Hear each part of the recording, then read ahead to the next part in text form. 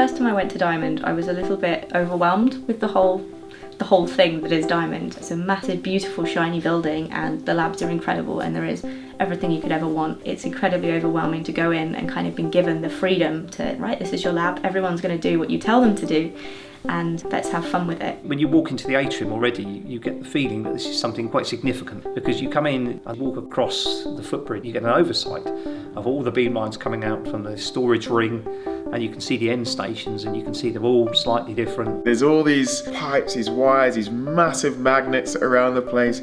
It's just like going into another world.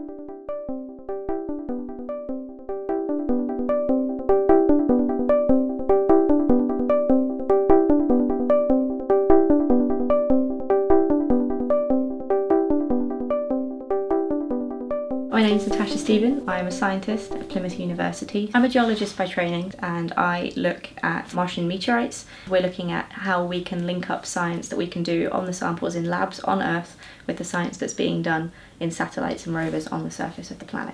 My name's Andrew Beale. I'm a chemist based at the research complex at Harwell. My interest in research, particularly diamond light source, is trying to understand why materials behave the way they do, with a view to designing better materials that can be used more efficiently in everyday life. My name is Jonny Brooks Bartlett. I'm a mathematician and I am a research student at the University of Oxford. What I do is X-ray crystallography. And what that means is I grow crystals, namely of proteins, and I use the X-rays at Diamond Light Source to irradiate those protein crystals to have a look at what the crystals are made of and the damage that the X-rays cause to those samples. Diamond Light Source is a facility that basically uses a particle accelerator to generate a very, very pure beam of energy, so a, a, beam of light. We whiz electrons around really, really fast in a circle, and when those electrons get to almost the speed of light, this beam of electron particles, as it hits a bending magnet, the beam of electron particles goes one way and then this light goes down this kind of line and there's a beam line. And they utilize that beam that's generated in a range of different ways. Some of the beam lines can convert that into infrared some of them convert it into x-rays some of them use that for tomography so to look at the shape and the structure of something in three dimensions. Some of them use it to look at the atomic scale features. It means that we can really study the small atomic structure of any material we like. And so I work with proteins, and proteins are way too small to see under a microscope. Therefore, we need to use X-rays to actually penetrate those crystals and understand what they look like from the patterns that are produced from the X-rays. Diamond is actually not a circle as such.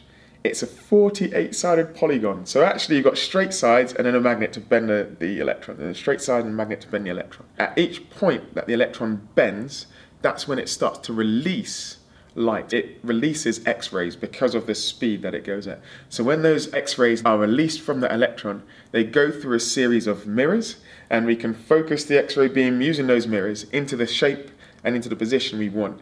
And we fire that at a sample, and, and, my samples are crystals that are made of proteins. There are about 45,000 known meteorites on Earth. They're made up of minerals, and the minerals are very, very similar in most cases to the minerals we have on Earth. With the Martian meteorites in particular, the most similar ones are like some of the volcanic rocks we might have from Iceland, Hawaii, from Italy, but they have structures in them which are completely unique to Mars, and these structures are very, very small. Diamond allows us to actually map these really unique Martian features because we can see them on a much smaller scale, and that allows us to then go back and re-evaluate the spacecraft data and compare them, and we've actually been able to find some of those small scale features in data sets that have existed on Earth for 10, 15 years already, and they haven't been noticed before because nobody knew to look for them. It's really coming here and doing the measurements under the correct process conditions with this top of the range facility that you can see the subtle differences that make sample A better than sample B. A lot of the research we're doing at the moment is trying to design catalytic materials that can make fuels more efficiently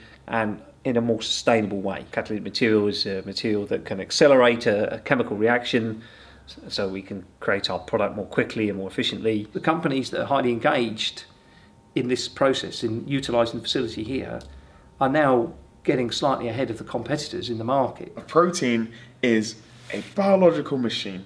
It's inside our bodies and it does anything you can think of inside the body. When you feel pain, it's usually proteins that carry the response from wherever it is in the body that you feel the pain to your brain. If you digest things, those digestive machines, they're proteins. And so if I'm a pharmaceutical company and I want to design a drug to say stop you from feeling pain or to get your digestive system going, then I need to be able to see what the protein looks like. If I can see what this protein looks like, then I might be able to design drugs, small molecules that may bind to the protein to either stop it from doing its job or enhance it doing its job. So actually, protein crystallography has huge implications in structural based drug design. For us, diamond light source is kind of the final step in our process. A lot of scientific analyses actually requires you to destroy the sample to generate the data that you want from it. And when we're talking about these rocks that have come from space, they are a finite resource. We don't know when we're going to get the next one. We can't predict it, unfortunately. We don't want to destroy them. So we try and use non destructive techniques where we still have the sample at the end. So Diamond for us allows us to use our data as a starting point to actually generate data from our Martian meteorites on Earth that's the same process that the satellites and the rovers at and on Mars are actually doing as well. So it's exactly the same technique. There's a satellite orbiting Mars that's mapping the surface of Mars using infrared. We're using Diamond to generate that same infrared, but we're looking at the smaller scale features in our rocks and then we're directly comparing the two light interacts with all of the, the tiny, tiny molecules and atoms that the protein is made out of.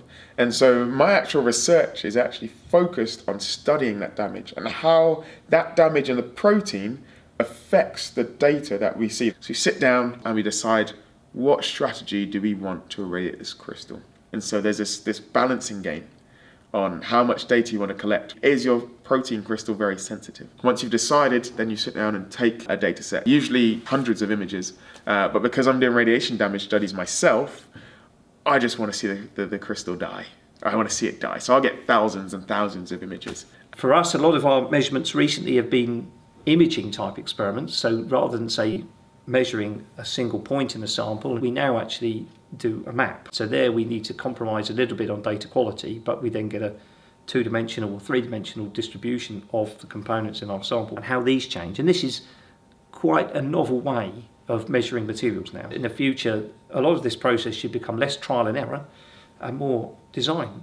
And that way we can be more efficient with the materials that we're using. It's kind of a blueprint for us trying to realise in the longer term how we should do things better. One of the things that really inspired me to get involved in in this science. I didn't just have to sit down and do maths on, on pen and paper.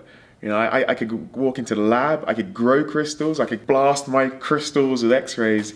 It's just, it's really exciting. Diamond Light Source is absolutely amazing. For me, it, it hasn't lost its novelty yet. It's just absolutely fantastic. It's a place that never stands still. So there's always new developments. The really fascinating thing is that when we carry out measurements here at Diamond Light Source, we see things that we didn't think we would see, that were even possible to see, and that people therefore couldn't even know if they were important or not for understanding why a material possesses the properties it does. The fact that you're the first to see it is very exciting. Diamond is definitely something that now I've used, I want to be able to go back. It was a fantastic experience to have people that were willing to try everything that you came up with, and it wasn't a question of, oh, well, we can't really do that because we don't have this. It's like, well, we don't have that but we'll do our best to make it for you whilst you're here and we will make it happen. It's just ideas, inquiry, and then results. Sometimes things worked, sometimes they didn't. But when they worked, it gave us something amazing, and when they didn't, we knew to try something in a slightly different way. And it was science in its purest form, which was an amazing experience to have.